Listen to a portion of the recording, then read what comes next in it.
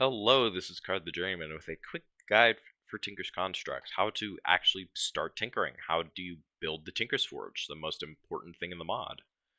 And if you're too lazy to look in the I am here to give you a video guide.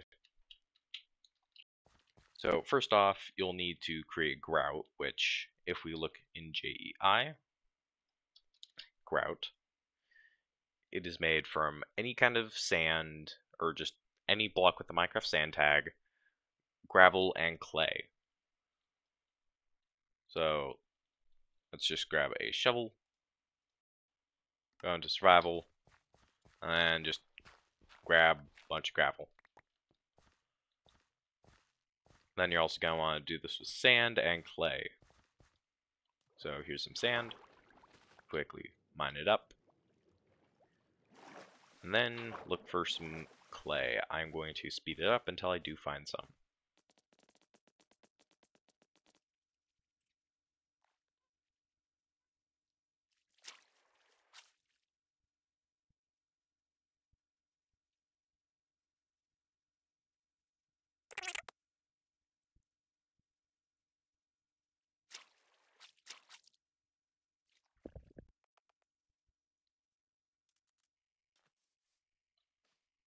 Oh, and here is some clay. Okay. So now once we have these, we can craft our grout. And then from this grout, we can use a furnace.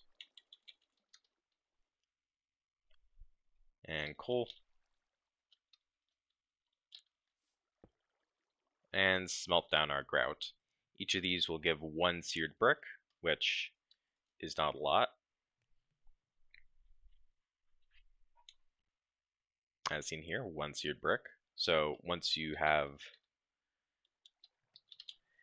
a good amount of them, just say three stacks for now, you're also going to want to smelt some glass and copper. Well, the glass is optional. I just like using the glass. So we'll need a crafting table, which with crafting tables, you can convert into Tinker's Construct crafting. No, you can't. Uh, but you can craft crafting tables in Tinker's Construct, which will interact with other Tinker's Construct tools by using a pattern, which is made with sticks and planks, and a log. So things you want to craft, well, this is required, but seared fuel tank, of course, and then a seared fuel gauge, which I think is crafted like this. Yep.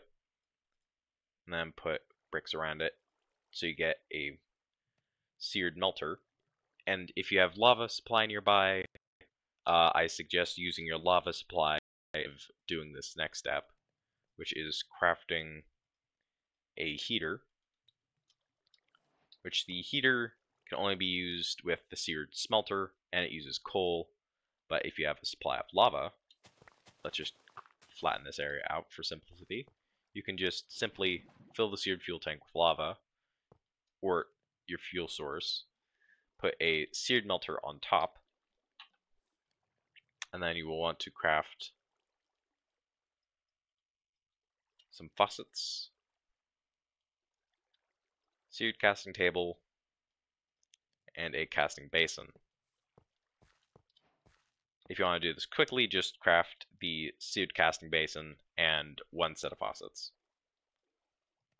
And now you will want to toss in like three raw copper ore or four copper ingots. And craft with this just a bunch of seared bricks and put it in this side. So now this has four ingots of copper, pour it on here. Four ingots, pour it onto a seared brick, and we get the smeltery controller. This is the most important part of our entire build. So to make, I mean, you can pretty much just do this pretty much as long as you have a drain and fuel, and this will be a working smelter. Not very big, but you can also extend this out larger like this and then get more seared fuel tanks to put on the back. Uh, also, quick word of warning: uh, the smelter only works with seared fuel tanks. You cannot use the uh, where is it? The seared heater because it's not as hot as lava. So once you've done this, oops, seared brick and copper. You'll want to craft some drains, which, yep, these are drains. And then also if you want to be able to automate this or just put something in that will overfill this, craft a seared chute. And you can put the chute on the side like this. And then anything that moves items into it, like you put a hopper here, then we put like uh, just some iron ore. Bam, it automatically moves into the uh, entire setup for melting. So now we re-grab our seared casting bin, the faucets, and the table. I like to put two uh, tables, two bins, hoppers, and chest. And then under these, you can have a hopper pulling the items out, which is simple. So I will show you how to do it. There we go. And then on the other side as well.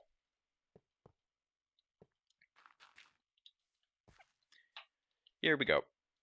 And now you have your basic Tinker's Forge.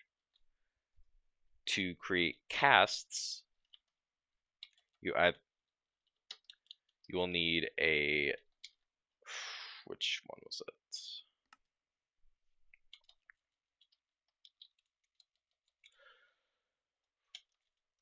T Tinkers has a lot of tables. My apologies.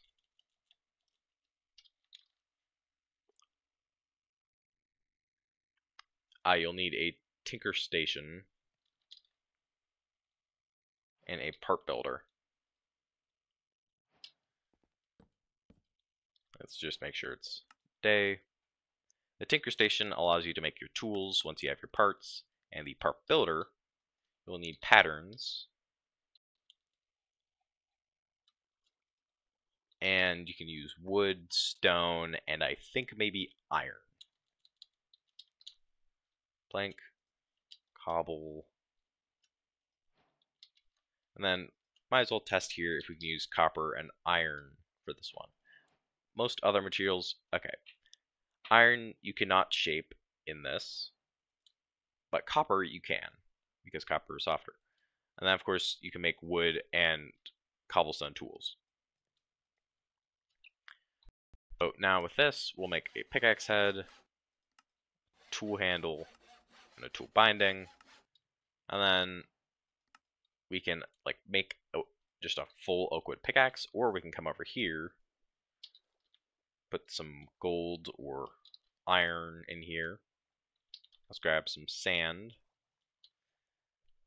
And then if we just pull a crafting table further over here, you can craft these the sand into sand casts or blank sand casts, which you can then use to easily make disposable casts. These can be used one time before they're consumed if you have gold on hand, rather. So let's just wait for this to smelt down. Let's add a third because we'll need three. Oh, and I forgot to put the faucets. Silly me. You can pour the molten gold onto the different parts. It'll consume the part, but it'll give you a permanent cast to use, which you can then pour metal into, and then you can make more advanced tools. This is a very simple guide on how to get started with Tinker's Construct. This has been Car the Journeyman. Thanks for watching.